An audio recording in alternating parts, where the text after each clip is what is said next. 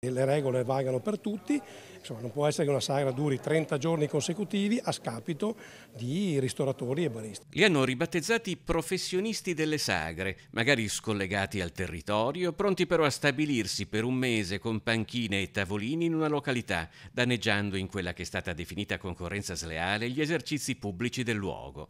Nel nuovo disegno legge della Regione Veneto sul commercio si pone un freno al fenomeno. Abbiamo ridotto eh, i 30 giorni consecutivi a 15 amici eh, perché ci sono situazioni dove effettivamente sono i professionisti delle sagre che non hanno nulla a che fare col territorio, con la ricaduta sul territorio o con, con le raccolte fondi per la parrocchia, per l'asilo, ma sono un'alternativa eh, evidentemente non organizzata e, e, e, non con le stesse caratteristiche che hanno albergatori, ristoratori baristi. Più in generale l'obiettivo del disegno di legge è quello di una riforma che semplifichi e diminuisca la burocrazia per facilitare lo sviluppo del settore, favorendo il commercio al dettaglio e razionalizzando le grandi strutture di vendita. Credo sia giusto che il Comune eh, possa identificare l'area dove insediare le medie strutture di, di, di vendita.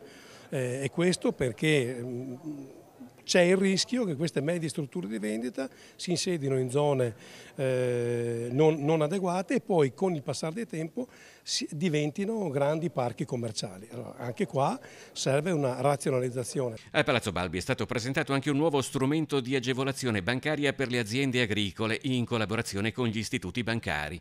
Ad oggi sono state presentate all'Agenzia Veneta per i pagamenti circa 1400 domande di aiuto a valere sugli interventi del complemento di sviluppo rurale per un totale di oltre 360 milioni di euro di spesa richiesta, con uno stanziamento di 175 milioni di contributi pubblici.